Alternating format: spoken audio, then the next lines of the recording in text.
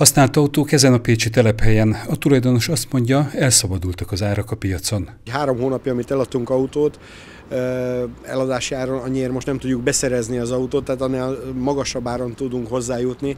Tehát ezt mindenféleképpen a vevők felé sajnos érvényesítenünk kell majd a, az eladási árakban. Juhász Zsolt azt mondja, hétről hétre változnak az árak felfelé. Hatalmas szerepet játszik a Covid által okozott ellátási hiányok, az, hogy az új autókra egy-másfél év most jelen pillanatban rendelés után a várakozási idő, sokkal kevesebb használt autó kerül vissza a körforgásba ezáltal, és ez nem csak Magyarországon van így, hanem külföldön is. A tulajdonos szerint nem lehet megmondani százalékosan mekkora a növekedés, olyan gyors a változás.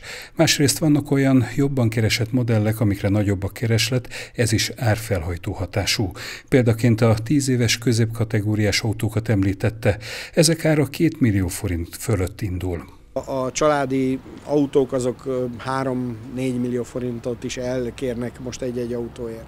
Nálunk is jelen pillanatban van olyan 10 éves autónk, ami egy gazdás volt, nagyon kevés kilométer, nagyon jó felszereltséggel, és egy Golf Plus és közel 3 millió forint, és nagyon nagy az érdeklődés. A statisztikák szerint hazánkban az év első hónapjában 10.606 használt autót hoztak be külföldről, ami 7,2%-os emelkedés az előző év hasonló időszakához képest. Új autóból ezzel szemben csak 8088 kelt el idehaza. Ez 8,8%-os csökkenést jelent.